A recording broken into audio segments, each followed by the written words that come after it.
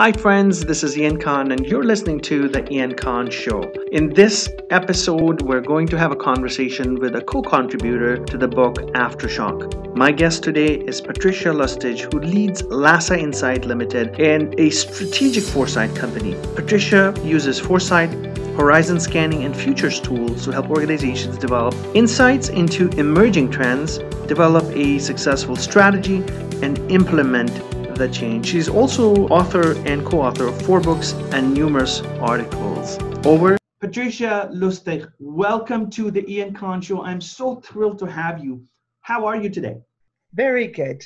Excellent. So we are talking because we're both contributors to Aftershock, a book put together by a good friend, John Schroeder. Tons and tons of really nice articles that lightning, that are invigorating. I've read what you and Gill have written in Aftershock, and I'm, we're going to talk about that today in this episode. Tell me about a little bit about what you do, Patricia. Well, I'm what's called a futurist, as many of the people in this book are. And the thing I'm really about is helping people to think more long term because individuals and businesses and organizations tend to think very much in the short term and not enough long term, and it will come and bite them in the bum as it is doing right at this very moment. It Absolutely. is very interesting Absolutely. that people are realizing it. Absolutely. And one of the things that really stood out for me when I as I read your piece is our ability to cope up with change, how we're coping up with change and we're going to talk about that a little bit. You also have a co-contributor, Gill Ringland, who uh, couldn't join us today. And Gill has a really amazing career. Both of you are contributors to multiple publications and multiple books. How did this collaboration come about? We both worked for ICL, and we started by writing an article together about scenario planning. And we have been writing partners and have written three books, and we're on our fourth together in the last 20 years. That's incredible and it, it's hard. Writing with someone else is very hard, but when you get used to it, we write very well together. We have what is called robust discussions, a lot of argument, and we get much better stuff out because we've got two of us working on it that way. Yeah, absolutely. Let's talk about some of the things that you've written. Let's talk about Toffler and if that was an influence for you or what your thoughts were about Future Shock when you first read it. What do you think about Future Shock 50 years after it has been written? You still feel some of the things in were bang on, some of them were not? How do you think we're living today as com- you know written in Future Shock so many years ago? Yeah, I think well it really excited me when I read it. So I must have known I was going to become a futurist. But I think the thing for us is the thing that we wrote about, which was that he just made an assumption which was easy to make in the time that it was written that people were not going to be able to cope with the amount of change that was coming I don't think he underestimated the amount of change, but I don't. I do think that they underestimated together because we mustn't forget he wrote it with a writing partner as well with Heidi. We mustn't forget the time he was in, and that we look back and we always think that less change has happened than really has happened, and we think looking forward that less change will happen than will really happen. And human beings can cope, and most of us do. But as we said in the chapter, it is more difficult for older people, the older you get, than it is for younger people.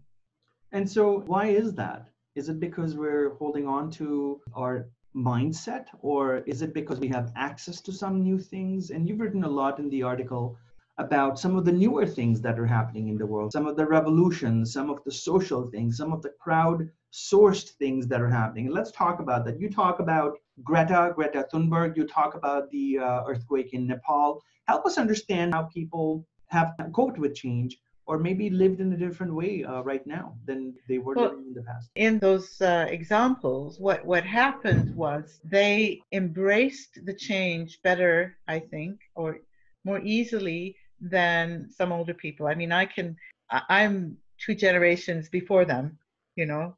We were talking about people born after 1980, um, so my kids. And I don't automatically think about using social media in the way that these kids who have had it for most of their adult lives do. It it isn't that I can't use it or that I don't eventually think of using it. But what is the case is that I don't think of it first off it just it was a no-brainer as you would say that they would use this and that they would use it in this way you know uh, in particular I, I did know quite a bit about the um, Yellow House because I was involved. They just it, they just did it without seeing that this was different or new. Whereas for me, somebody who's older, it is different and new, and I have to think about it. I have to struggle to think about it. It's not as automatic. And for them, they grew up with it.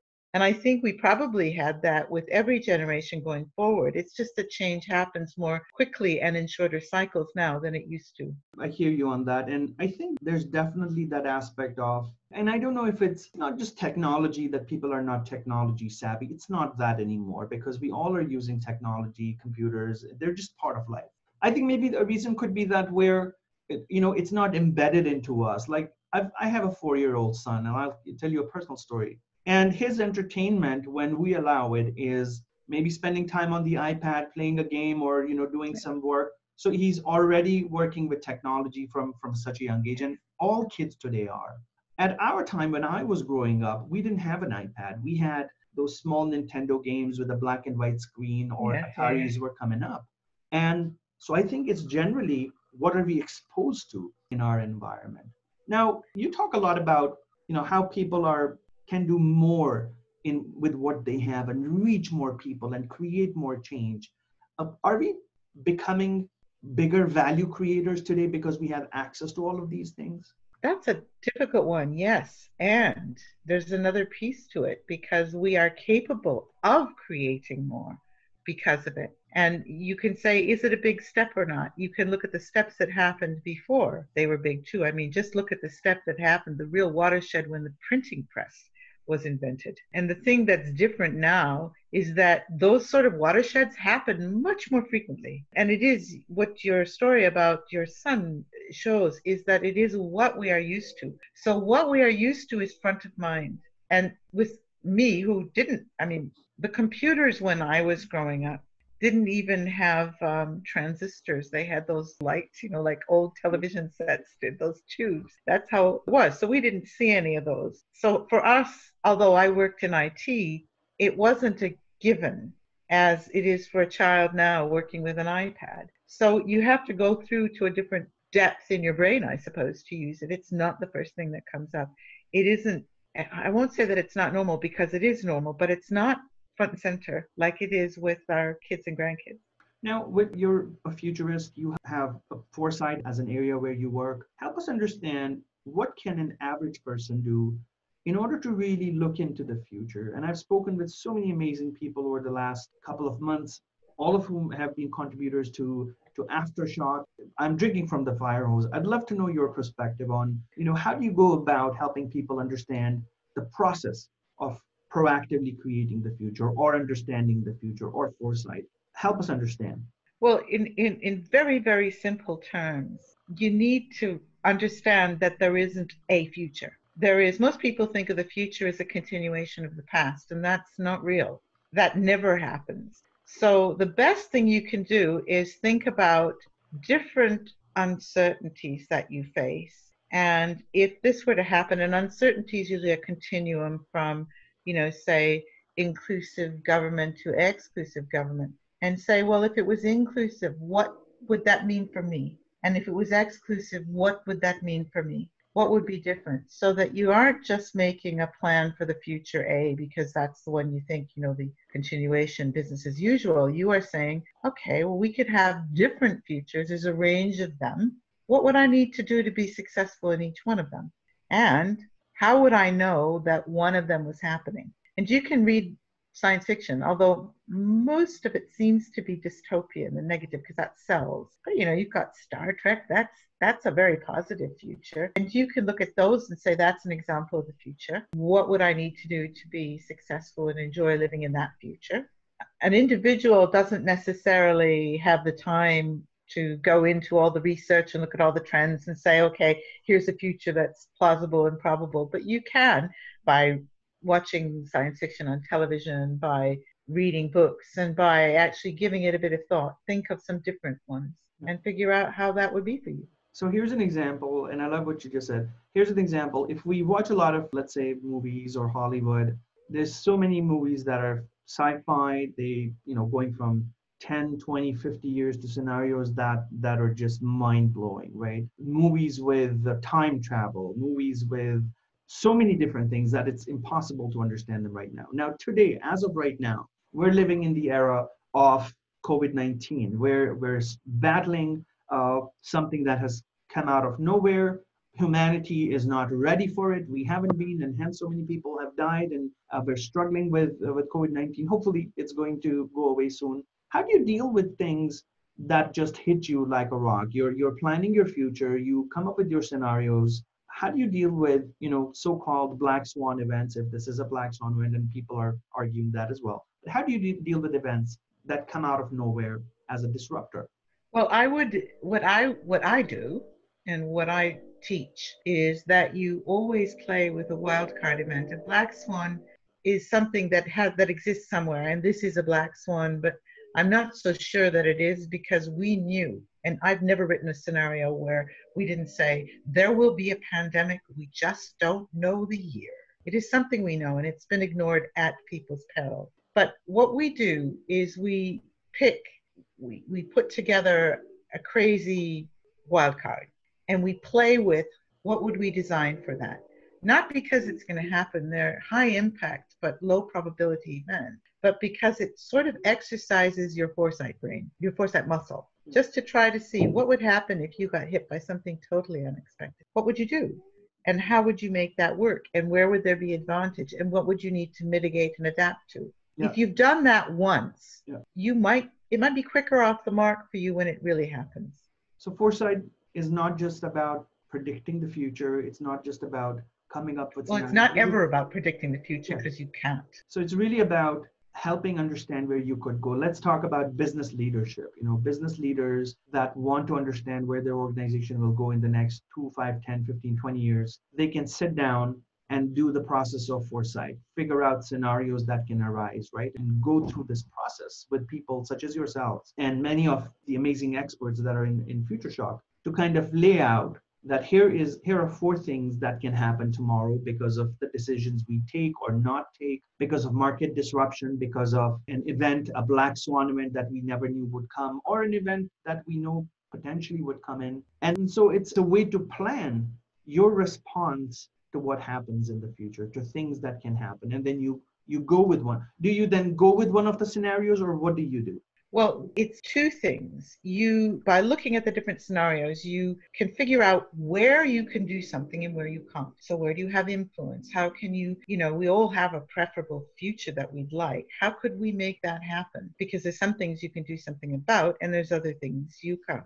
You don't, none of the futures, when you make a set of futures, however many it is, none of them will come true all. But a piece from this one will come true, and a piece from that one will come true, right? And you learn you you talk through how you would know which future you are at. And then you identify oh it's this part of that future. And when that happened we needed two. That's our plan for this part. And then another part of the future another future comes. You have a plan for that. So it's not going to be i have scenario a and i've got my plan for scenario a. You've got your plan for the parts of scenario a. And if you recognize one of them happening you do that part of the plan does that make sense? Yes, absolutely. It does make sense. What I'm trying to do is I'm trying to help our viewers and listeners understand what foresight and this foresight, the process of foresight is so that they can think about it and get used to it. Now, are there some specific tools that we, you use? I know a lot of people generally will take a marker, use a whiteboard, post-it notes. There's so many, you know, very low tech ways of doing it. And I think those are the ways that, that are really nice because you're very flexible.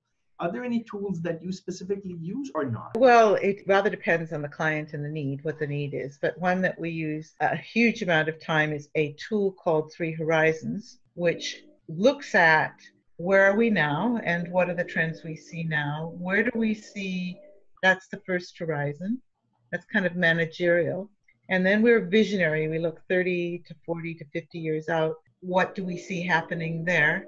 That's horizon three. And then we look at what's the bridge between. So, where's an assumption that we're making today that is challenged by one of the assumptions from far out? That's just on a great big piece of butcher paper with, you know, stickies, little uh, post-it notes. And we developed a game for a game board for doing scenarios. The two by two matrix. A two by two matrix is something we can use. There are very many tools. I've written a book about this uh, that people can use, and they depend on who the group is, what they want to do, how much time they've got. You know, there's just a whole list of them. For tools, I think you could go to the Association of Professional Futurists. It's called apf.org. Yep. And I, am a board member, so I have to, to, hold my hand up and say that. And there are lots of um, things in the open domain on that. You know, you should be able to find some tools there. Okay lots of people use different tools. I mean, there are tools that can help you do horizon scanning, that can mine for data. There are tools that can use that use uh, an AI to take the data and do something with it.